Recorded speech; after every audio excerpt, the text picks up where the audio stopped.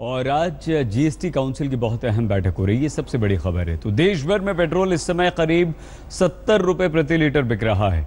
क्या आप सोच सकते हैं कि पेट्रोल चालीस रुपये प्रति लीटर हो सकता है? जी हाँ जानकारों के अनुसार अगर पेट्रोल को जीएसटी के दायरे में लाया जाए तो ऐसा संभव है। आज जीएसटी काउंसिल की बैठक में इस पर आम सहमति बनाने की कोशिश सरकार की तरफ़ से होगी। हम लकीर के फकीर नहीं है।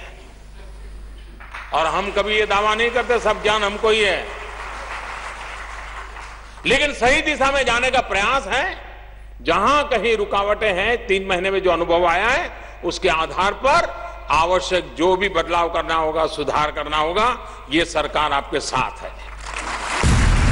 संकेत साफ़ है। अर्थव्यवस्था को लेकर फैल रही निराशा को पहचानते हुए सरकार इलाज को तैयार है।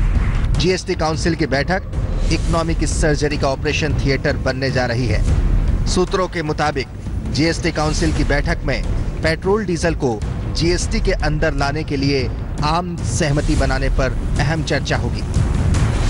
अगर पेट्रोल डीजल को जीएसटी पर लाने पर सहमति बन गई तो जनता को भारी राहत मिल सकती है, क्योंकि तो जीएसटी लगने से वैट और एक्साइज ड्यूटी पूरी तरह खत्म हो जाएँगे। इसीलिए अधिकतम 28 फ़ीसदी टैक्स के स्लैब में रखने के बावजूद पेट्रोल की कीमत चालीस रुपए प्रति लीटर के आसपास आ सकती है।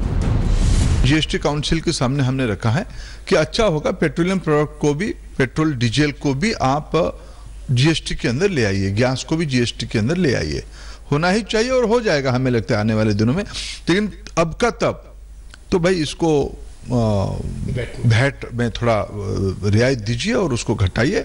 ग्राहकों को फ़ायदा दीजिए।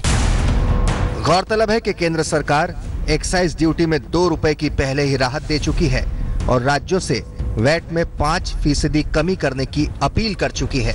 इशारा साफ़ है कि सरकार पेट्रोल डीजल की ऊँची कीमतों को लेकर जनता के बीच खराब हो रही छवि को लेकर सतर्क हो चुकी है।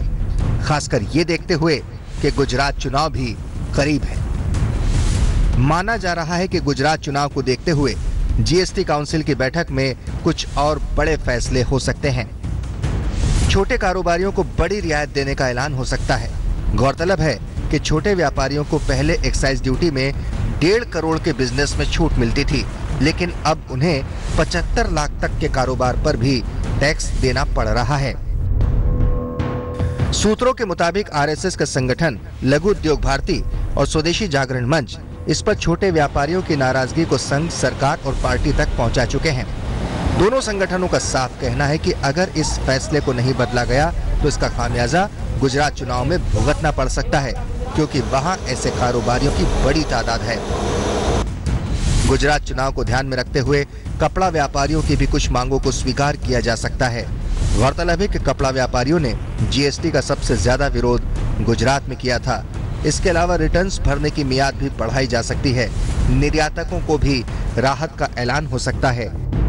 जीएसटी काउंसिल की अहम बैठक से पहले कल प्रधानमंत्री मोदी ने बीजेपी अध्यक्ष अमित शाह और वित्त मंत्री अरुण जेटली के साथ गुजरात चुनाव जीएसटी और देश की अर्थव्यवस्था को लेकर लंबी चर्चा की। लब्बोलुआब ये है कि सरकार को समझ में आ गया है कि जनता को अगर फौरी राहत नहीं दी गई तो बड़ा सियासी नुकसान हो सकता है। हिमांशु मिश्रा, दिल्ली, आज तक। आज जीएसटी काउंसिल की बहुत अहम बैठक है तो आइए हम आपको बताएँ कि मौजूदा जीएसटी में परेशानियाँ क्या हैं और क्या हो सकता है, क्या राहत सरकार दे सकती है, क्योंकि कारोबारी परेशान है। देखिए, दिक्कतें क्या हर महीने रिटर्न दायर करना होता है, लेकिन क्या राहत मिल सकती है? डेढ़ करोड़ टर्न ओवर वाले कारोबारियों को तीन महीने में रिटर्न दायर करने की छूट मिल सकती है, ये बड़ी राहत होगी। और जटिल जीएसटी से छोटे कारोबारी परेशान हैं। छोटे कारोबारियों के लिए आसान दरें दी जा सकती हैं, संभावित हो सकती हैं। वस्त्र, कपड़ा उद्योग में जीएसटी कम करने की मांग उठ रही थी। तो वस्त्र उद्योगों के लिए जीएसटी दरों में राहत हो सकती है। निर्यात पर जीएसटी का असर है। निर्यातकों को राहत मिलने की संभावना है। इस बैठक में कुछ ना कुछ फैसला हो सकता है। रेलवे टेंडर घोटाले में कल सीबीआई ने लालू प्रसाद यादव से आठ घंटे तक पूछताछ की और आज बारी है उनके बेटे तेजस्वी यादव की। लालू प्रसाद यादव ने कहा है कि मर जाऊँगा लेकिन झुकूँगा नहीं समझौता नहीं करूँगा। बीजेपी और सरकार पर साजिश का आरोप भी लगाया। जो चल पड़ा है तानाशाही के राह पर।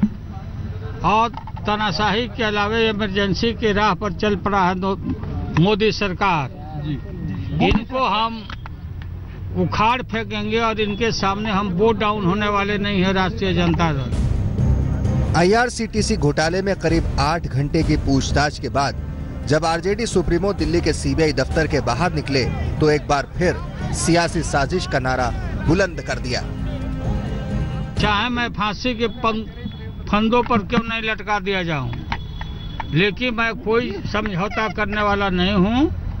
और इनको हटा के ही हम दम लेंगे, चाहे जिस स्थिति में रहे। कई समन की अनदेखी के बाद कल, यानी गुरुवार की सुबह, तकरीबन 11 बजे, लालू अपनी बेटी मीसा के साथ सीबीआई दफ्तर पहुँचे और शाम सात बजे बाहर आए। सूत्रों के मुताबिक, लालू से पूछा गया किन शर्तों पर होटल का एमओयू साइन किया गया था। इसके लिए नियमों का उल्लंघन क्यों और किसके कहने पर किया गया? जिन कोचर बंधुओं को होटल दिया गया, उन्हें आप कैसे जानते हैं? सरकारी कीमत से भी कम दाम में ये डील क्यों की गई? और इसका फ़ायदा अगर किसी को पहुँचा तो कितना और कैसे?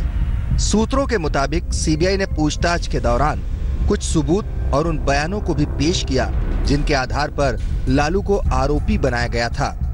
बताया जाता है कि सवालों की बौछार से परेशान लालू बार बार यही कहते रहे कि मुझे नहीं पता लेकिन जब वो बाहर मीडिया के बीच आए तो अपने चिर परिचित अंदाज में इसे नकार दिया। आज जो हमारे साथ पूछताछ हुआ है दिन भर आप लोग निकाले होंगे अपने अपने टीवी में कि लालू की परेशानी बढ़ी। लालू पसीने पसीने हो गए। लालू फर्रा गए ये सब आप लोग का जो मीडिया ट्राइब है इसको बंद करो। लालू के बाद अब बारी तेजस्वी की है। फ़िलहाल सीबीआई इस मामले में लालू यादव के बेटे तेजस्वी यादव से भी पूछताछ करेगी और सारी पूछताछ होने के बाद ही साफ़ हो पाएगा कि लालू यादव पर जो आरोप लगाए गए हैं, वो कितने सही हैं या फिर नहीं। कैमरामैन देवेंद्र शर्मा के साथ मुनीष पांडे, दिल्ली, आज तक। यहाँ पर आप कीजिए बस थोड़ा सा इंतज़ार, कुछ ही देर में हम आपको बताएँगे कि कैसे पाकिस्तान और चीन दोनों से निपटने के लिए पूरी तरह से तैयार हैं। हम बने रहिए हमारे साथ, देखते रहिए आज तक।